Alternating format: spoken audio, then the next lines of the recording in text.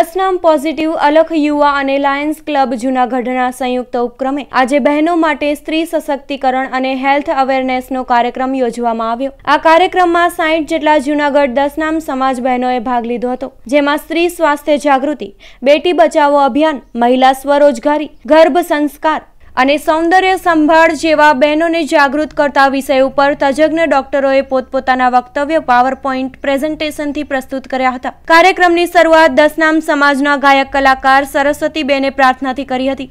આ સમગ્ર કાર્યક્રમનું સંચાલન ડોક્ટર ટાંક સાહેબે કર્યું હતું.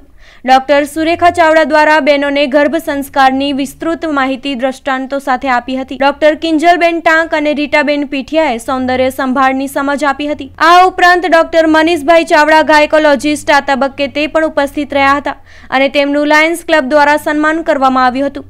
આ સમગ્ર કાર્યક્રમને સફળ બનાવવા માટે દસ નામ પોઝિટિવ યુવતી ગ્રુપના પારુલબેન ગોસ્વામીએ જહેમત ઉઠાવી હતી. તેનું આ તબક્કે બ્યુટી કેર કીટ આપીને સન્માન કરવામાં આવ્યું હતું. આ સમગ્ર કાર્યક્રમ ઝાંઝરડા ચોકડી અક્ષર પ્લાઝા એકમાં મોમ્સ મેજિકમાં યોજાયો હતો. આ તબક્કે આવેલા તમામ બહેનોને હળવો નાસ્તો અને પંદરસો રૂપિયાનું બ્યુટી કેર વાઉચર ગિફ્ટ આપવામાં આવ્યું હતું. સફળ કાર્યક્રમના અંતે આભાર માનતા બલદેવ પરીએ વિશિષ્ટ તાળીના નાદ સમગ્ર બહેનો પાસે કરાવીને તમામ ડોક્ટરો સાહેબનો અભિનંદન આપી આભાર માન્યો હતો.